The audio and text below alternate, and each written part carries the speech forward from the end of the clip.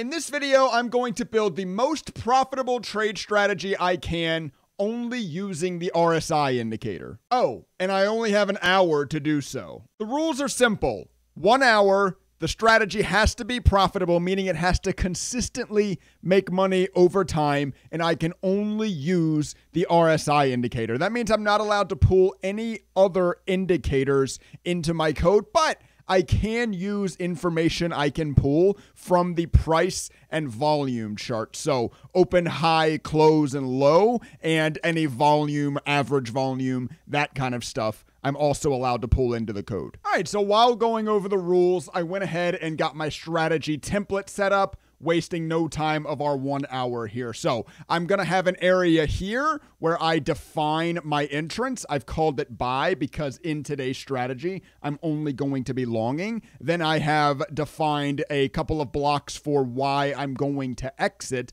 both with a profit lock and very importantly, with a stop loss. Then, of course, I have my actual function to take the order for the entrance and my actual add order functions for both my profit and my stop. So keep that in mind throughout the video. These are the blocks that you will notice changing as I update code. So my initial idea with this strategy is to buy a strong RSI and to lock profit when that RSI comes down. I'm a continuation trader, so you've always heard buy low, sell high. Everyone's heard that trope, right? I'm more of a buy high, sell higher trader. It's just what works for me. So I'm going to use what I know works for myself as the basis of this strategy, right? So I want to buy something like the RSI over 50 and I want to lock profit something like when the RSI comes back under 40. So buy a strong stock, let it run for as long as it can run, let it continue, let it keep going. Get stopped out, hopefully locking profit on a dip. Now, as far as the stop loss goes, I'm actually not 100% sure yet. Give me a few minutes to do some work here, and I'll get back with you.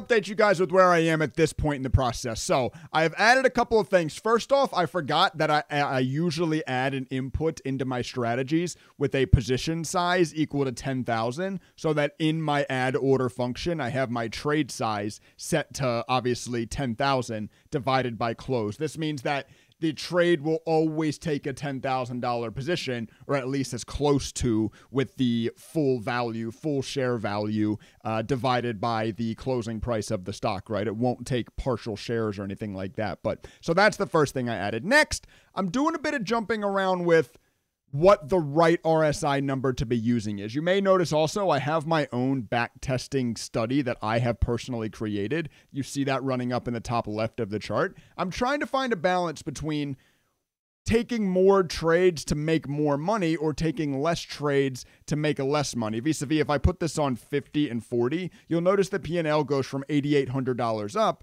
but a 2,900 max drawdown to $11.8 thousand up, but a $6.6 thousand drawdown. So more percentage heavy of a max drawdown, which isn't necessarily a good thing. That's the fun and the usefulness of this uh, backtesting study. It's not always about just what makes the most profit, right? Anybody can create a study that just makes a ton of money. That's actually really easy to do on a static subset of data like we're using here. That's very easy to do. It's important to optimize for a you know a lower max drawdown percentage, a higher win percentage, a smaller number of trades, a higher average win, a lower average loss. It's important to optimize for those things much more than just the gross total P&L. So that's sort of what I'm jumping between right now, trying to find the right balance. I've also set the buy to only be true if the yesterday's close is over the average closing price of the last five bars. And I also turned off my stop loss order for right now. I used a hashtag to comment out this add order line, which just means it's not doing anything because I kind of figure the RSI less than 50 both works to lock in profit. And of course, if the stock goes down after you enter, the the the profit will also or sorry, the RSI will also go under 50 and will also stop you out. So let me continue working. Let me continue tweaking a few things. That's where we currently are. We're making progress. I mean, I'm on the NVIDIA, or actually, no, I'm on the SPY chart. I thought I was still on NVIDIA. So, wow. Yeah, of course, it makes a ton of money on NVIDIA, but that's, I actually, in my head, thought I was running that on the NVIDIA chart the whole time. This is on SPY, so actually, pretty nice returns. You know, if you look around at a couple of different stocks, Block, I love the test on this one just because it's got a little bit of everything with the up and down move. Um, Walmart, um, profitable waste management, profitable McDonald's, profitable. So it actually seems to be a decent little baseline for a strategy. We got some time left though. Let's try to make it even better.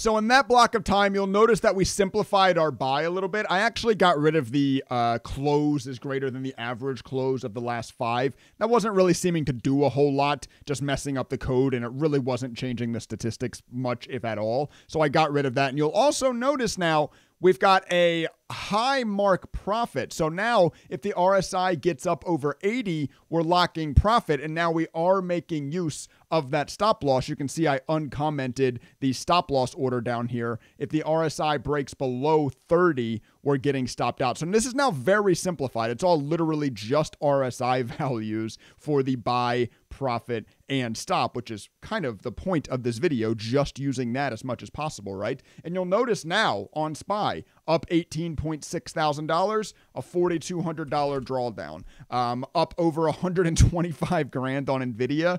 Of course, you can't use a chart like Nvidia and pull any kind of real back testing numbers out of because you could type anything out of your butt and you're going to make a ton of money on this ticker. But um, I do still like to compare the P&L to the max drawdown, $10,000 max drawdown. What else did we look at last time? Waste management we looked at last time, now 22.7 up.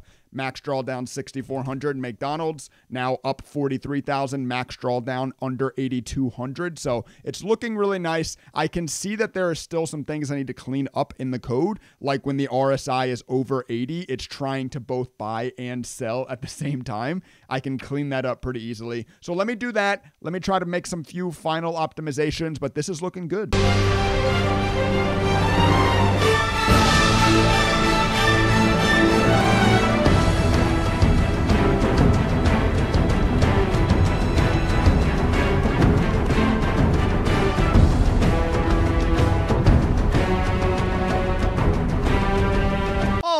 Alrighty, that's to do it. Stop the time. I think we just made it under an hour.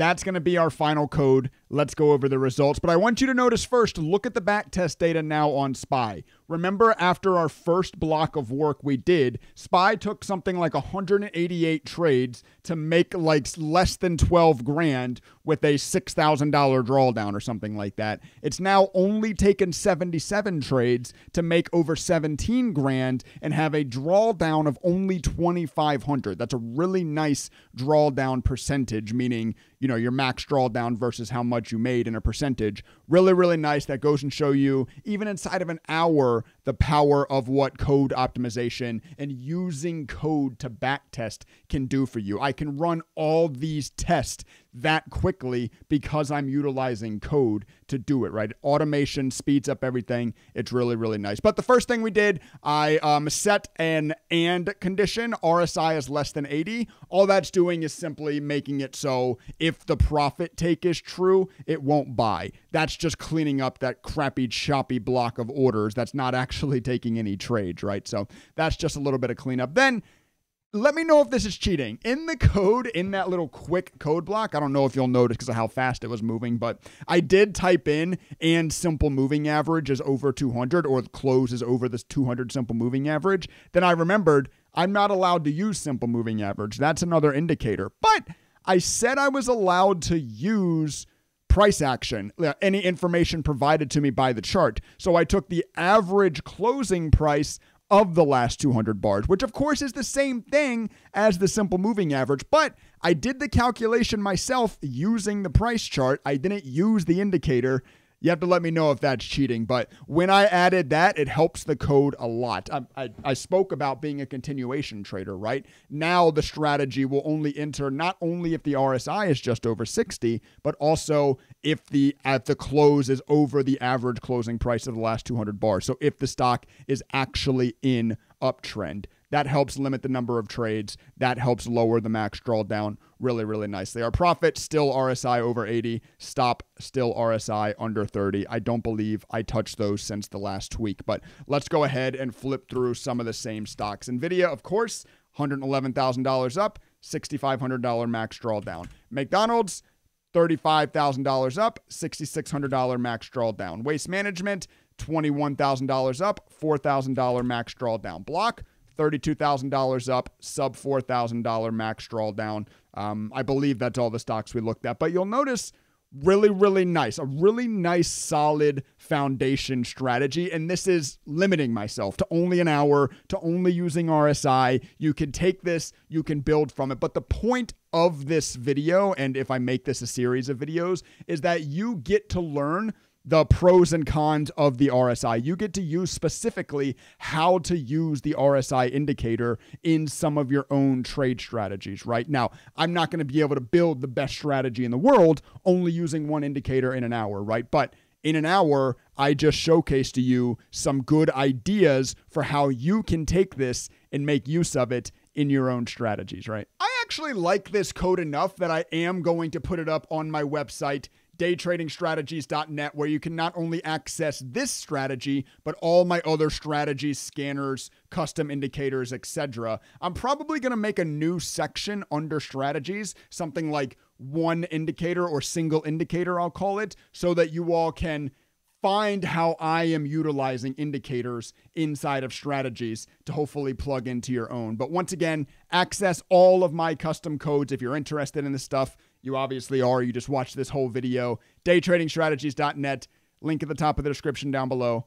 Go check it out. Hey, not in just like the typical YouTuber sense, hit the like button. If you guys actually liked this video, please like actually like it. I want to get a sense of should I make this a series? I mean, there are thousands of indicators out there that we can make endless content in this sort of way. So if you guys did like this video idea, once again, go ahead and hit the like button for me. Make sure you're subscribed I'm going to go ahead and wrap up this video, but I will link you all to another video I think you'll enjoy on the outro screen. Trading stocks. He talks about trading stocks. It's important for you Americans and other international individuals to learn about stocks.